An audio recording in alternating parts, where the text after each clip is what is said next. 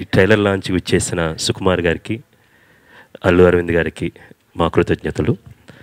Sir ఈ cinema ప్రతిసారి ఒక దర్శకుడు ఒక ఎలాంటి కథ అని రాసుకోవచ్చు. నేను కావచ్చు సంకల్ప్ కావచ్చు సుకుమార్ అన్న గారు కావచ్చు.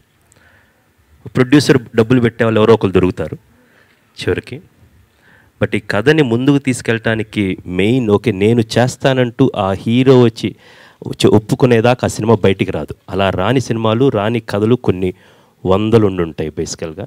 సో ఈ కథని సంకల్ప్ చెప్పిన ఐడియాని నమ్మి రాజీవ్ రెడ్డితోటి నాతోటి సినిమా చేయడానికి ఒప్పుకున్న వరుణ్ తేజ్కి ఈ సినిమా సక్సెస్కున్న అగ్రతాంబులం అంతా తనకు మాత్రమే దక్కిద్ది.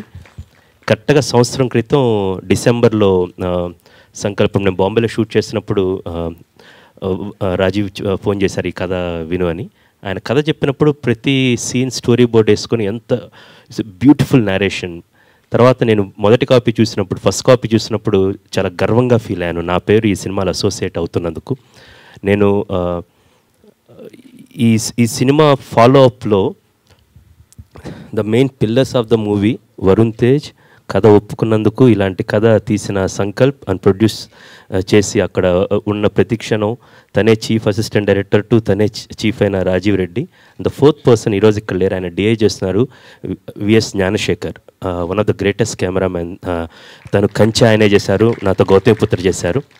So and Prashanth Vihari music director వాళ్ళు మిక్సింగ్లో అక్కడ ఉన్నారు uh, అండ్ రామకృష్ణ గారు మోనిక్ గారు మీ వర్క్ చూసిన తర్వాత సెట్లోకి వెళ్ళిన ప్రతిసారి ఒక అంతరిక్షంలో వ్యవహరిస్తున్నట్టుందన్నమాట ఆ సూట్స్ దగ్గర నుంచి ఇది ఎంత చెప్పినా కూడా మనం ఊహకందనంత డీటెయిలింగ్ చేశారు ఈ సినిమాని.